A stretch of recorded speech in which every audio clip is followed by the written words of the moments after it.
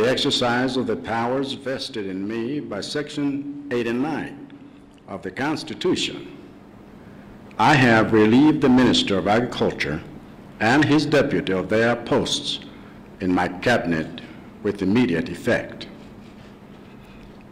There are serious problems in the agricultural sector that need to be fixed as a matter of urgency, in the face of which the food security of the country has been left in great jeopardy. Even though there is still time to resolve the problems, there is simply no way this can be done by the same careless leadership that has failed to fulfill its mandate over the sector, a sector that is the backbone of our economy and the bread basket of millions of Malawians. As you will all recall, over six months ago, at the very start of the financial year, I publicly instructed officials from the Ministry of Agriculture to ensure that all arrangements for the distribution of fertilizer under this year's Affordable Inputs Program were in place no later than September. They have failed to do this, and it is a failure I consider to be completely unacceptable. Additionally, our internal inquiries into the causes of this failure have revealed a disturbing litany of bad decisions that smack of incompetence and gross negligence. To begin with, the findings reveal that the ministry, through Smallholder Farmers Fertilizer Revolving Fund, engaged a British company as an agent to secure fertilizer from a manufacturer without conducting the necessary financial, business, anti-money laundering, and legal due diligence to ensure the company's credibility and capacity. Secondly, the fund proceeded to pay this company an agency fee of 725,000 US dollars in two installments. One installment paid on the 13th of May, amounting to 181,250 US dollars, and another payment on the 14th of June, amounting to 543,750 US dollars all without any credible evidence that this company had any credibility or capacity to secure fertilizer. Thirdly, at the request of the company, Smallholder Farmers Fertilizer Revolving Fund made the two payments into two separate accounts in two different countries outside the United Kingdom and yet they proceeded to effect this suspicious method of payment without question. Fourthly, both the contract with and payment to the company were done without following proper procurement procedures, as neither the Public Procurement and Disposal of Assets Authority, PPDA, nor the Government Contracting Unit, GCU, nor the Anti Corruption Bureau, ACB, were engaged to properly vet the process as required by law. Considering that the volumes of fertilizer the ministry was tasked to procure would be large and worth millions of dollars, a team of officials was dispatched to the United Kingdom to determine the company's credibility and capacity to deliver the product. And it is from that mission that the ministry's error in judgment and blatant disregard of procedures became apparent, as the supplier's capacity turned out to be without merit. In view of all this, we identified three issues that needed to be addressed urgently. The first issue was the termination of the contract which was done. The second was the recovery of the two payments amounting to 725,000 US dollars made to two separate accounts in two different countries, which I instructed the Office of the Attorney General to pursue. The latest on that pursuit is that one country's central bank has agreed to facilitate the return of the first payment and has already received from us the necessary documents to do so. And similarly, the receiving bank of the second payment has frozen the funds and is processing the documents we have submitted for the funds to be transferred back to Malawi. I know that there is a member of parliament in the Parliamentary Committee on Agriculture who has publicly told the country that the amount paid is 30 billion and that this money has been stolen, which is simply false. And I know that this lie has created a lot of anger and fear about whether funds for AIP are still secure, which is understandable. The truth is that once these processes we have initiated with the two authorities in the two countries are complete, the 725,000 US dollars that was paid illegally as an agency fee will be recovered in full, and the Treasury will issue a public notice to inform you of the same. But the third and greatest matter of urgency following the ministry's failure is the need to rescue this year's AIP and deliver the needed fertilizer to millions of farmers around the country in time for the upcoming planting season. Towards that end, in the second week of September, I convened an emergency cabinet meeting to tackle this matter and formed a cabinet committee chaired by Honorable Sam Kawale, the Minister of Lands, to oversee the emergency procurement of fertilizer for this year's AIP. In the six weeks that have passed since its formation, the committee has engaged the relevant and necessary stakeholders, both here and abroad, to ensure the delivery of the fertilizers we need as a country. Since we are in an emergency situation, the committee was given the mandate to use all means necessary to secure the necessary volumes of fertilizers, including identifying fertilizers already in the custody of local suppliers. Though our standing policy generally and going forward is to procure the product directly from manufacturers.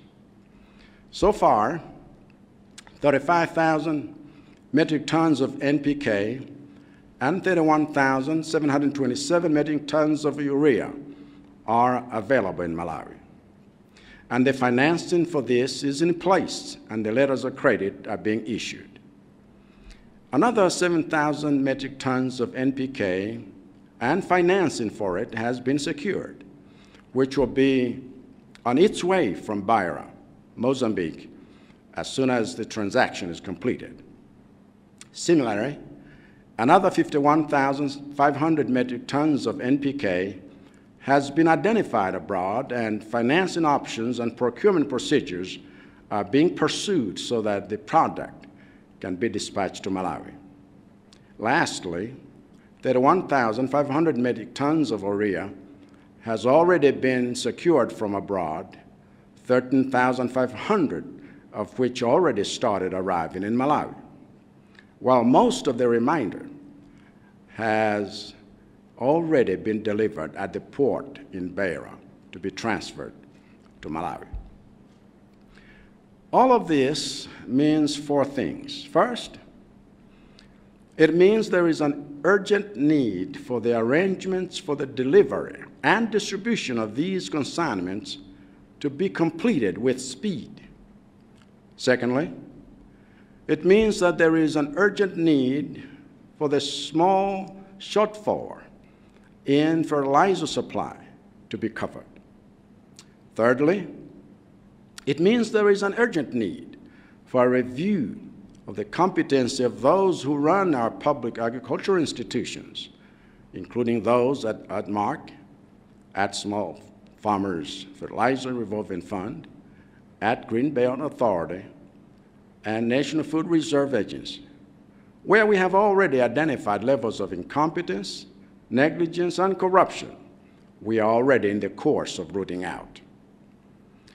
Fourthly, and crucially, it means that there is an urgent need for radical reforms to the AIP itself to improve its efficiency and protect it from careless acts of negligence, corruption, incompetence, and wastage.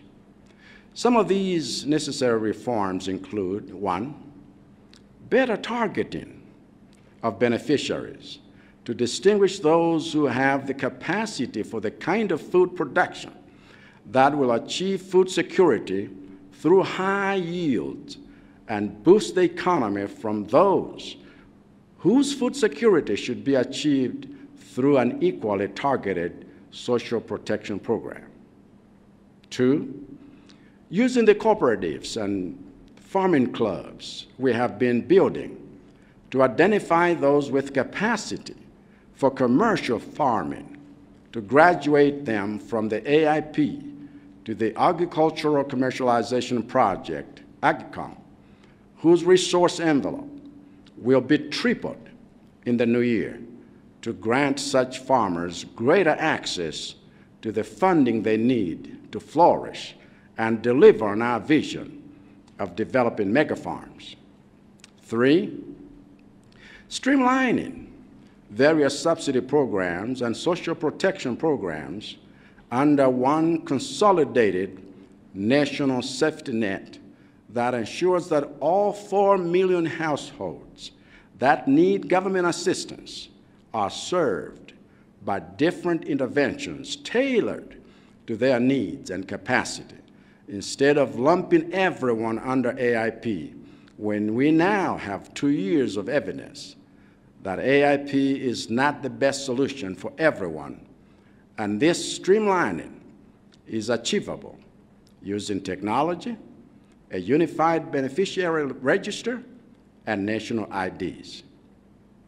Four, policing AIP expenditure with discipline to keep it within its 109 billion kwacha budget allocation instead of blowing it up further as the smallholder farmers fertilizer revolving fund has wrongly tried to do in today's papers by offering contracts to fertilizer suppliers that would cost nearly twice as much.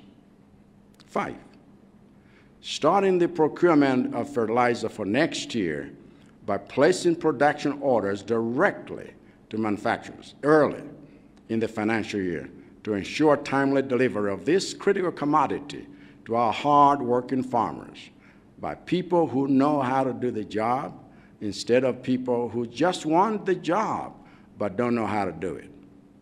Six, determining the price at which qualified citizens access subsidized fertilizer on a year by year basis based on market forces that affect supply and demand.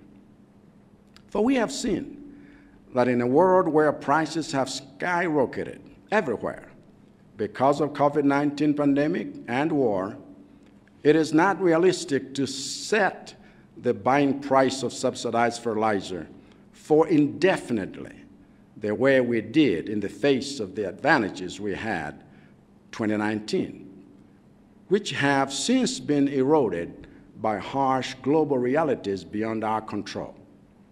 And seven, monitoring the progress of those farmers who qualify for AIP support from year to year to ensure that there are graduation points for everyone as they prosper, instead of keeping farmers in a perpetual state of dependency, which defeats the Malawi 2063 vision of moving Malawians away from poverty and towards self reliance.